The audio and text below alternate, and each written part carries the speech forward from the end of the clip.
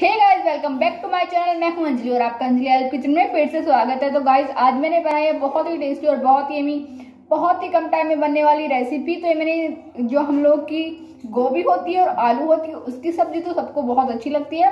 अगर आप इस ट्रिक से बनाएँगे तो आपको और भी ज़्यादा अच्छी लगेंगी। ये ना ज़्यादा हम लोगों की गाढ़ी है, ना ज़्यादा पतली है, बहुत ही टेस्टी है और थोड़ी स्पाइसी भी है। तो इसको टेस्ट करके बताती हूँ। बहुत ही ज़्यादा टेस्टी और बहुत ही अमी है। अगर आप भी खाएँगे तो अपनी फैमिली को ज़रूर ये पसंद आएगी, आप ज़रूर घर पे ट्राई करें। और गाइस अभी तक जिन्होंने मेरे चैनल सब्सक्राइब नहीं किया, वो भी प्लीज़ कर दीजिए। और वीडियो अच्छा लगे तो लाइक तो बनता ही है तो देखते हैं वीडियो कैसा बना है। आज हम लोग बनाएँगे होटल स्टाइल बहुत ही टेस्टी सब्ज़ी। अगर आप इसको घर पे बनाएँगे तो आप यकीन मानिए, होटल से भी ज़्यादा टेस्टी सब्ज़ी बनेगी ये। तो हम लोग बनाना स्टार्ट करते हैं तो देख सकते हैं, ये मैंने आलू लिए, आलू मैंने तीन से चार लिए और इनको पानी के अंदर भिगो दिया है। इस तरीके से, वरना हम लोग के आलू है, वो काले पड़ जाएँगे, ये मैंने गोभी काट ली है। आप इसको मोटी पीस में भी काट सकते हैं, पतले में भी काट सकते हैं तो मैंने कुकर लिया है। तो कुकर के अंदर हम लोग डाल देंगे, जो गोभी होती है, आलू होती है, दोनों को डाल देंगे। अगर आप इस ट्रिक से बनाएँगे तो फटाफट हम लोग की गोभी की सब्ज़ी बन जाएगी। बिल्कुल भी इसके अंदर झंझट की कोई बात नहीं होगी। तो ये मैंने डाल दिए गोभी। अब इसके अंदर आलू डाल देंगे पानी से निकाल के।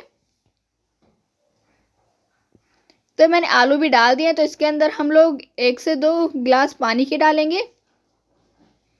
तो दो गिलास मैंने पानी के डाल दिए हैं तो हम लोग को जब तक पानी ऊपर तक नहीं आ जाए तब तक डालना है। तो यहाँ पे आप तीन गिलास भी यूज़ कर सकते हैं। मैंने हल्दी लिया आधी चम्मच। ये मैंने टेस्ट अकॉर्डिंग नमक लिया है। ये अच्छे से मिक्स हो जाएगा तो हम लोग की सब्ज़ी है, उसका फ्लेवर भी अच्छा आएगा।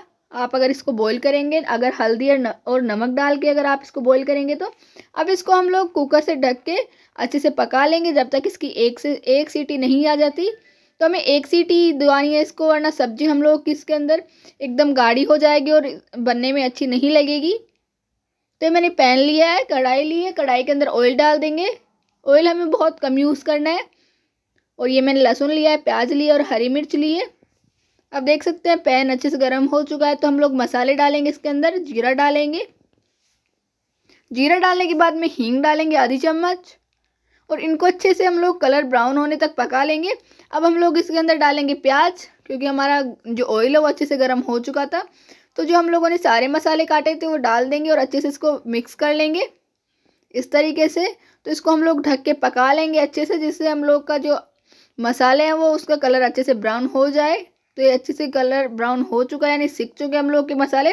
तो इसके अंदर हम लोग सूखे मसाले ऐड करेंगे। ये मैंने हल्दी पाउडर लिया है, एक चम्मच एक चम्मच लाल मिर्च पाउडर लिया है, एक चम्मच धनिया पाउडर लिया है और टेस्ट अकॉर्डिंग नमक लिया है यहाँ मैंने, एक चम्मच लिया है। तो सभी को अच्छे से मिक्स कर लेंगे और इसको अच्छे से पकाने के लिए रख देंगे। इस तरीके से मिक्स करके और इसको ढक के रख देंगे हम लोग। अब चेक करते हैं तो हम देख देख सकते हैं, मसाला वो एकदम तैयार हो चुका है मैंने। एक से दो टमाटर काटे थे, वो भी इसके अंदर डाल के अच्छे से हम लोग को इस, अच्छे से पका लेना है टमाटरों को भी तो अच्छे से फिर से इसको ढक के अच्छे से पका लेंगे। तो हमारी जो सीटी है वो आ चुकी है एक, और ये देख सकते हैं, आलू और गोभी अच्छे से पक चुके हैं। तो अगर आप फ्राई करके, इसके अंदर बॉईल करके अगर आप डालेंगे फ्राई करने के लिए तो बहुत ही जल्दी हम लोग की जो सब्ज़ी है वो तैयार हो जाएगी। तो देख सकते हैं, ये मैंने निकाल लिया है बाउल के अंदर और इसका पानी भी अच्छे से निकल चुका है, एकदम गर्म है ये। तो ये देख सकते हैं हम लोग का मसाला है, वो एकदम तैयार हो चुका है। तो इसके अंदर जो आलू और गोभी है, पके हैं, उनको डाल देंगे। अगर आपको इसको अंदर ग्रेवी सब्ज़ी बनानी है तो आप इसका पानी भी डाल सकते हैं इसके अंदर। तो देख सकते हैं, एकदम सूखी तो बन चुकी है, अगर आपको सूखी चाहिए तो आप इसको इस तरीके से ही कर सकते हैं। अगर अगर आपको गीली चाहिए तो सूखी को हम लोग पाँच मिनट के लिए अच्छे से फ्राई कर लेंगे, जिससे अच्छे से इसके अंदर मसाला ऐड हो जाए और हम लोग का जो आलू और गोभी का जो हम लोगों ने बॉईल किया था, वो पानी था इसके अंदर डाल के अच्छे से मिक्स कर लेंगे, जिससे हल्की सी पतली हो जाए और बहुत ही ज़्यादा टेस्टी लगे। अगर आपको सूखी रखनी है तो आप इसके अंदर पानी नहीं नहीं डालना। तो देख सकते हैं अच्छे से मिक्स हो चुकी है और बॉयल भी होने लगी है। हम लोग की सब्ज़ी के अंदर बहुत ही टेस्टी खुशबू आ रही है। और देख सकते हैं, बहुत ही टेस्टी बनी है। अगर आप इसको घर पे इस ट्रिक से बनाएँगे तो यकीन मानिए होटल से भी, ढाबे से भी ज़्यादा टेस्टी सब्ज़ी बनेगी। तो देख सकते हैं, इसके अंदर मैंने सर्व करने के लिए धनिया डाल दिया। धनिया से भी इसका टेस्ट है और इसकी जो खुशबू है, बहुत ही ज़्यादा अच्छी आती है। तो इस तरीके से हम लोग धनिए को भी डाल देंगे इसके ऊपर। और इसको अच्छे से ढक के हम लोग पाँच मिनट के लिए पका लेंगे। यहाँ पे आप गैस बंद कर सकते हैं। और देख सकते हैं, सब्ज़ी एकदम तैयार हो चुकी है इसके अंदर। खुशबू भी बहुत अच्छी आ रही है तो धनिया से इसको सर्व कर लेंगे एकदम।